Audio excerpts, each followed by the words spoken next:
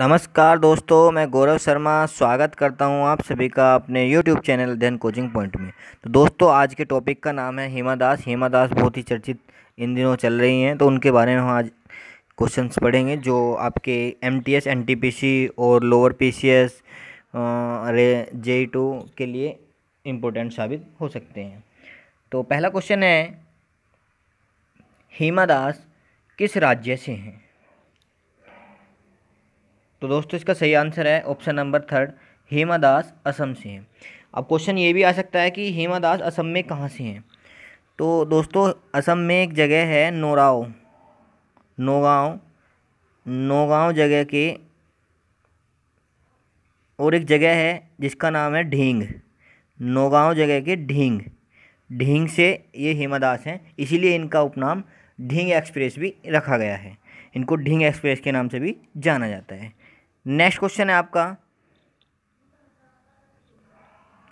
असम का sport brand ambassador कौन है? तो सही आंसर है इसका option number two, Hima Das. तो असम का sport brand ambassador Hima Das हैं। नेक्स्ट क्वेश्चन है आपका, हिमा दास का उपनाम क्या है? जैसा कि अभी आपको मैंने पहले क्वेश्चन में बताया था कि हिमा दास असम के नौगांव से, के ढींग स्थान से स्थित हैं। तो इसलिए उनको ढींग एक्सप्रेस के नाम से जाना जाता है। तो उनका उपनाम होगा ढींग एक्सप्रेस। दोस्तों, मैं आपको बता दूँ, उनका एक दूसरा उपनाम भी है, जिसको कह, जो है इनका गोल्डन गर्ल। इनको गोल्डन गर्ल के नाम से भी जाना जाता है। Golden girl. आप इसको याद रख सकते हैं, कोई सा भी उपनाम आ सकता है। नेक्स्ट क्वेश्चन है आपका। हिमा दास 2018 में किसकी ब्रांड एम्बेसडर बनी? तो सही आंसर है इसका option number two Adidas Hema Das 2018 में एडिडास की ब्रांड एम्बेसडर बनी। दोस्तों, इनके पास जूता खरीदने के लिए भी पैसा नहीं था, ठीक है? इनके पिताजी ने पैसे उधार लेके बारह सौ रुपये तक का जूता इनको खरीद के दिया और आज वो दिन था कि जिस दिन वो उसी कंपनी की ब्रांड एम्बेसडर बनी है एडिडास बढ़ते हैं नेक्स्ट क्वेश्चन की ओर। तो नेक्स्ट क्वेश्चन है आपका, किस वर्ष हिमा दास को अर्जुन पुरस्कार से सम्मानित किया गया?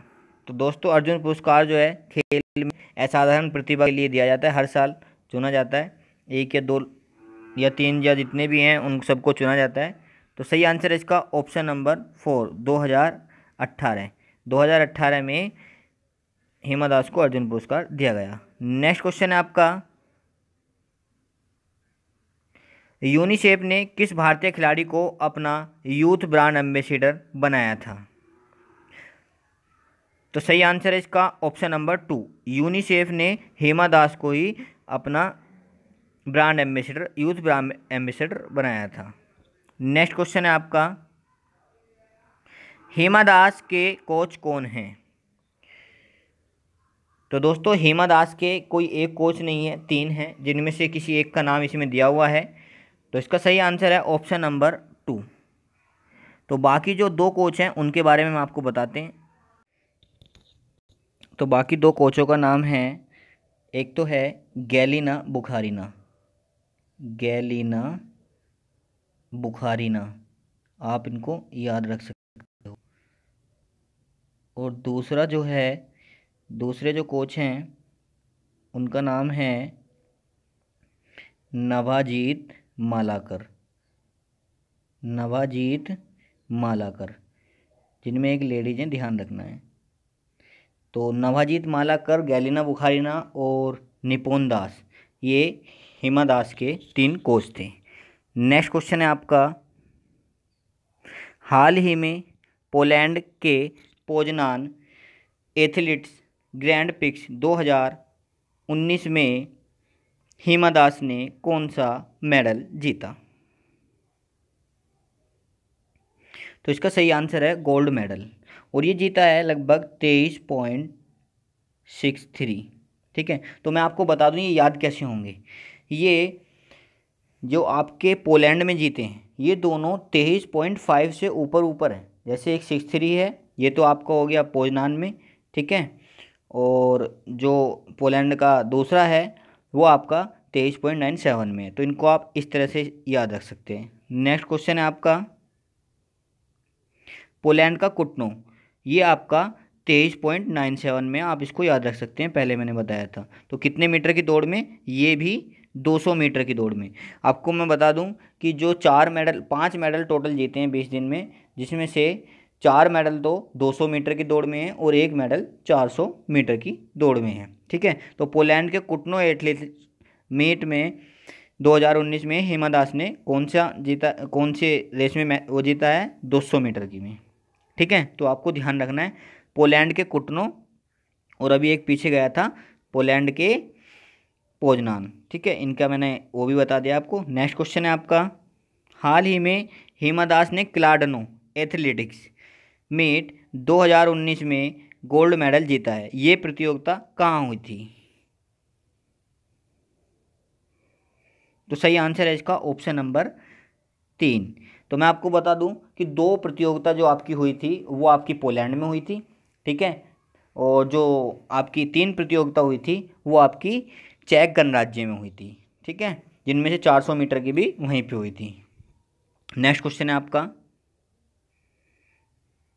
हिमा दास ने चेक रिपब्लिक में आयोजित किस प्रतियोगिता में 400 मीटर रेस में गोल्ड मेडल जीता? तो सही आंसर है इसका option number third. Nove Mesto athletics championship. Nove Mesto athlete championship जो थी, ये 400 मीटर की दौड़ थी और इसमें उसने गोल्ड मेडल जीता। ये लगभग 53 पॉइंट कुछ सेकंड में इसने जीता है। आप याद रख लेना। नेक्स्ट क्वेश्चन है आपका। हिमा दास ने एशियन गेम एशियन गेम 2018 में 400 मीटर की रेस में कौन सा मेडल जीता? तो सही आंसर है इसका option number two silver medal जीता। आपको बताऊँ मैं, हेमा दास ने एशियन गेम 2018 में तीन मेडल जीते हैं। एक तो चार बाई चार सौ, महिला। इसका क्या मतलब है चार बाई चार सौ का? कि एक देश से चार सौ मीटर की दौड़ में चार जने दौड़ रहे थे, ठीक है? तो उसमें महिला में सबसे पहले इन्होंने गोल्ड जीता, ठीक है? दूसरा है आपका चार बाई चार सौ मिक्स। इसमें मिक्स सब दौड़ रहे थे, ठीक है? मिक्स में भी इन्होंने गोल्ड मेडल जीता है। तो चार बाई चार सौ में दोनों में इन्होंने गोल्ड मेडल जीता है। तीसरा आ जाता है ओनली चार सौ। ओनली चार सौ मीटर की दौड़ में इन्होंने कौन सा मेडल जीता है? तो वो जीता है इन्होंने सिल्वर मेडल। उसमें केवल एक बार ठीक है? तो नेक्स्ट क्वेश्चन है आपका। तो दोस्तों, यहाँ पे आपकी ये क्विज ख़त्म हुई, ये छोटी सी क्विज थी। तो अगर आपको हमारी ये वीडियो अच्छी लगी है तो प्लीज़ लाइक करें, शेयर करें और कमेंट में कोई भी प्रॉब्लम हो हेमा दास से रिलेटेड तो वो हमें बताएँ। फिर भी मैं आपको हेमा दास के बारे में कुछ और बातें बता देता हूँ, जो मैंने इस क्वेश्चन क्वेश्चन में नहीं लिए हैं, ठीक है? तो आप याद रख सकते हैं, जैसा कि हेमा दास के कोच कौन थे, ये आपको पता है, ठीक है?